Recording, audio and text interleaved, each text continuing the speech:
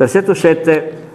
Gesù osservava che alcuni invitati sceglievano volentieri i primi posti, altro che, alcuni appena si è spediti da fare a Potoc, perché notate, essendo un pranzo ufficiale di fatto, invitati dal loro capo, praticamente più uno può sedersi vicino al padrone di casa, più vuol dire che nella gerarchia locale è importante, ricopre un ruolo particolare. Quindi che ti capiti un posto o l'altro non è la stessa cosa. Non è uno di quei pranzi dove magari gli invitati si mettono assieme tra amici, più che chiedersi se sono vicini o lontani dal festeggiato o da chi organizza. In questi casi invece più sei vicino, più il tuo ruolo conta, più sei lontano, sei uno di tanti. Per loro raccontò questa parabola. Quando sei invitato a nozze non occupare i primi posti, perché potrebbe esserci un invitato più importante di te. In questo caso lo sposo sarà costretto a venire da te a dirti cedili il posto. Allora tu pieno di vergogna dovrai prendere l'ultimo posto. Invece quando sei invitato a nozze va a sederti all'ultimo posto. Ho notato non dice un pranzo qualunque, il pranzo per eccellenza, che è quello di nozze. Quando sei invitato a nozze va a sederti all'ultimo posto. Quando arriverà lo sposo ti dirà vieni amico, prendi un posto migliore, avvicinati a me e questo sarà per te motivo di onore di fronte a tutti gli invitati. Perché ricordate, chi si esalta sarà abbassato, chi si umilia sarà esaltato. Di cosa sta parlando qui Gesù del Galateo? Gli interessa davvero il Galateo a tavola? Oppure attraverso questa regoletta così banale, se vogliamo, sta parlando di qualcosa di molto più importante. Non presumere di sé, avere un po' di buonsenso e non guardare solo la voglia di, l'immagine, la preoccupazione per la propria immagine. Sembra semplice, ma mica vero. Ne?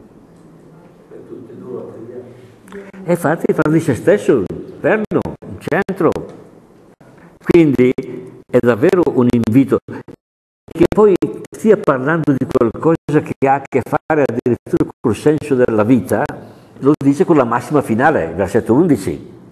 Chi si umilia sarà esaltato, chi si esalta sarà umiliato. Cioè, questo richiama a un qualcuno che va al di là. Chi è che ti umilia? Chi è che ti esalta? Il tuo vicino, il concorrente o quell'altro, quello del piano attico? Però no. A questo punto però, guardiamo se vi ricordate qualche cosa. Cosa vuol dire umiltà? Chi è umile? Umile, umiltà. Vuol dire vivere di somiglianza. Wow, andiamo, eh, facciamo le risposte per gradi, andiamo proprio a... Eh? In cosa consiste l'umiltà? Perché lo scopo è quello, vivere immagine e somiglianza di Dio. Cioè? Umile, umiltà, ha a che fare con una parola?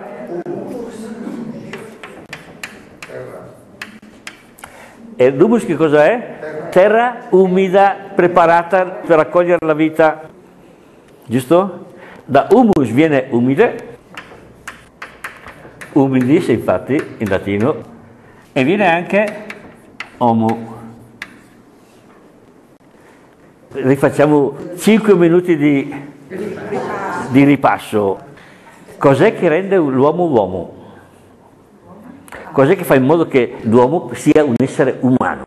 Cos'è che lo distingue dagli animali?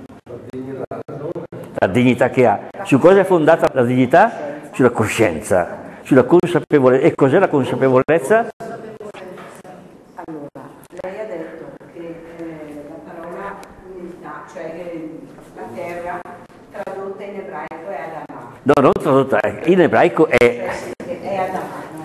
E a questo punto, a questo punto è un pupazzo. infatti, humus in ebraico si dice Adamah. Diventa uomo, quindi Adam. E Dio cosa utilizza per costruire l'uomo? La Adamah. Ecco perché l'uomo si chiama eh, Adam, perché è fatto di Adamah, fatto di terra. In che capitolo della Genesi si dice questo? Eh, quando Primo, il secondo, il terzo, il quarto o il quinto? primo, Crea l'uomo. No, Quello dopo. secondo. Questo lo dice nel secondo capitolo della Genesi. Quando lo mette al primo posto, il posto diventa al primo posto, quando dice la terza. Esatto. Quando diventa Adam, cosa ti infonde dentro? La Neshama e la Ruah. La Ruah Nishma, la Ruah Neshama. Che è la Ruah, il suo fiore vitale, Vedi, vedi? Eh, qualcosa resta pian piano. eh? Dopo ogni vent'anni una cosa la. Oh, dai, eh, va benissimo.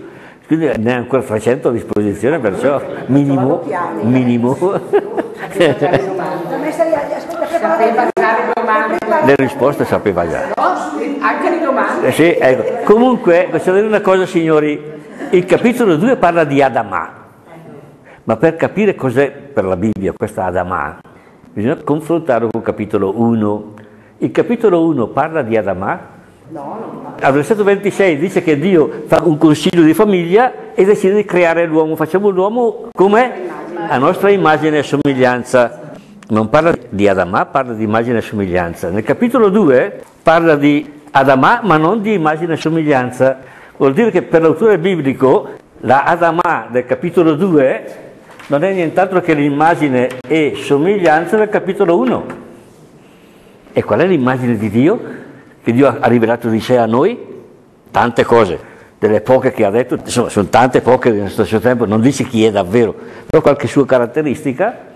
Dice che Dio è uno che conosce, che sa, è parola, è verbo, è comunicazione, è uno che conosce, è uno che ama e addirittura Dio è amore e soprattutto è padre, figlio e spirito, cioè è comunità di persone, è relazione profonda. Se tu togli la relazione al Dio di Israele sparisce tutto, non esiste. E in se stesso è padre, figlio e spirito, in riferimento a noi, come si chiama? Dio di Abramo, Dio di Isacco, Dio di Giacobbe, Dio di Mosè, Dio di Gesù.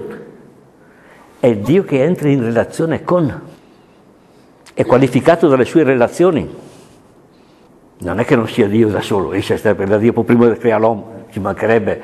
Però a noi si rivela sempre così. Quindi sottolinea quale aspetto suo che lo caratterizza, la sua capacità di entrare totalmente in relazione con qualcuno, compromettersi per qualcuno. Quindi quando diciamo qual è l'immagine di Dio in noi, la sua capacità di conoscere, la sua capacità di amare, la sua capacità di relazione. Vi ricordate queste cose, no? Sì o sì?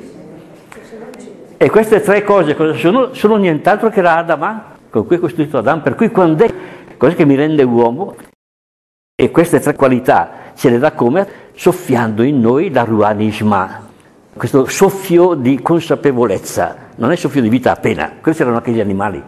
Infatti l'animale vuol dire che ha l'anima, che ha il soffio vitale, però non hanno la Ruanishma o Neshama. Questo è specifico per l'uomo nella Bibbia. Ma se a rendermi uomo è questo, questa realtà, fatta di queste tre caratteristiche, capacità di conoscere, capacità di amare e di entrare in relazione, sono qualcosa che mi qualificano perché sono bravo io o sono qualcosa che sono in me, agiscono in me perché le ho ricevute come regalo? Queste sono il di, di, di, dono di Dio. Quel dono di Dio in noi, ci dice la Bibbia, che fa di noi esseri umani, che ci distinguono dagli animali. Ma se tutto questo, che è quello che fa di me me stesso, che mi fa essere quel che sono, è un regalo che ho ricevuto, cosa vuol dire essere, essere uomo? Riconoscermi come regalo? Ecco, l'uomo umile è umile quando, quando riconosce che ciò che lo fa uomo è un regalo che ha ricevuto. Quindi non ne è orgoglioso, non si vanta, non pensa di essere più degli altri perché lui ha questo e gli altri no. Resta mia, lui ha da sei. Siamo d'accordo su questo? Sì. Questo vuol dire essere umile, riconoscersi come dono. R, C, D. Se parto dall'amore di Dio, se è parto del nostro, come era. Ah, SF è ciao. No, allora ti illudi. Sì. sempre dal nostro? Stiamo dicendo se mi riconosco Ah, come regalo, eh, si manca che a Dio. Allora parto meglio dell'amore di Dio. Aspetta, aspetta. Sì, cosa che stiamo facendo? Sì, ho capito. Ma se io resto, se parto con... Aspetta, che arriviamo subito adesso alla differenza, che arriviamo subito. Aspetta, aspetta, aspetta, aspetta. Tu lei sei o... Aspetta Piero, un secondo Piero. Scusate, noi abbiamo fatto tutto questo discorso perché Gesù dice chi si umilia sarà esaltato, chi si esalta sarà umiliato. Umiliarsi e essere umiliati è la stessa cosa? Umiliarsi è essere io che sono consapevole di quel che sono e quindi non mi vanto, non mi impongo, non pretendo per me, eccetera, eccetera. Essere umiliato è essere messo al mio posto, che mi piaccia o no facendosi brutta figura spesso e volentieri. Gesù dice sta attento perché se tu nel tuo orgoglio ti credi padrone di te stesso e ti vuoi esaltare, tassa freget. Questo è il dramma. Per cui se non fai un discorso d'amore ma una pretesa, la fai diventare una pretesa tua, ecco, ti freghi la vita. Se lo dice Gesù, uno ascoltare però quando lo dice. È vero, è vero, Piero. Senza usare la parola amore, però se lo dice chiaro. Per cui farsi umili è saggezza, essere umiliati nella fregazione, nella scopassa di quelle potenti. Le parole si assomigliano molto, ma sono due realtà totalmente diverse. Eh sì, eh. Ma non finisce qui l'insegnamento di Gesù, va avanti ancora. Se già qui non è semplice, perché in fondo, in fondo cos'è che dice Gesù? Imparate la gratuità, imparate a avere di voi un'opinione giusta, ma, ma coi pentero, non svolazzante chissà dove, col padrone di casa è peggio, è più duro. Poi Gesù disse a colui che lo aveva invitato, quando offri un banchetto, un pranzo, una cena, non invitare i tuoi amici e fratelli, i tuoi parenti, i ricchi che abitano vicino a te. Essi infatti hanno la possibilità di invitarti a loro volta a casa loro e tu in questo modo hai già ricevuto la tua ricompensa spendi soldi per niente, ti freghi. Invece quando offri un banchetto chiama poveri, storpi, zoppi, ciechi, cioè, gente che sai che non può ricambiarti. Allora avrai motivo di rallegrarti perché questi non hanno la possibilità di ricambiarti l'invito. Dio stesso ti darà la ricompensa alla fine, quando i giusti risorgeranno. Allora chi di noi se la sente di chiamare in casa gente che non conosce per, per far festa e lasciare fuori quelli che conosce, gli parenti e amici? Vi sembra giusto farlo? È un'esagerazione quel che dice Gesù, ma cos'è che vuol dirci? Perché per Gesù non è, non è una cosa semplice, né? imparare a fare le cose gratis.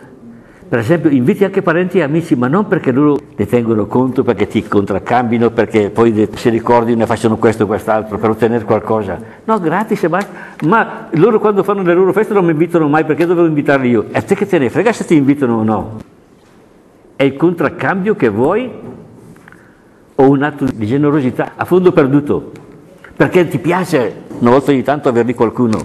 Quindi è proibito invitare parenti e amici, ma ci mancherebbe. Però è importante che sia fatto con animo gratuito, senza aspettarsi niente. Dopo tirarsi in casa gente che non conosci, oggi come oggi per esempio è sempre più difficile, quello è vero. Insomma, bisogna stare attenti perché che tipo di gente è perlomeno, perché purtroppo in giro un sacco di... senza avere paure che bloccano tutto, però un po' di attenzione in base specialmente alla situazione di famiglia a famiglia, quella più serena, dove sono autosufficienti, hanno una certa età, dove ci sono ragazzini, ci sono, ci sono tante situazioni diverse. Però è importante davvero quel che si fa farlo gratis, non per avere qualcosa, un, un ritorno ma è vero che poteva quasi senza dire Gesù queste cose perché per noi è spontaneo fare le cose gratis. Sì o sì?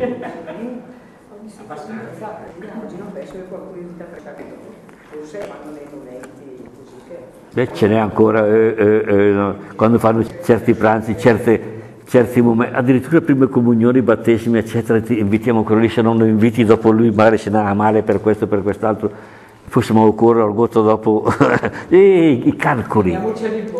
I calcoli, i calcoli. Comunque sia poi che chi è invitato sia contento o meno e sarebbe più contento di non essere invitato, magari che l'altro discorso da mu, che a Ma non finisce qui, questo è il secondo round.